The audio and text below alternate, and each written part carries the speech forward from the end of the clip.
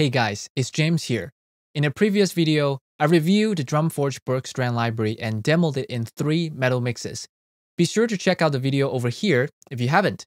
Today, we're doing a deep dive in Drumforge Bergstrand. We will be testing every single kick, snare, tom, and cymbal for their dynamic range and velocity layer transitions and how they handle fast hits, snare rolls, tom rolls, and cymbal swells. This is more of a technical reference video, so feel free to use the timestamp list to pick and choose which drum you want to check out.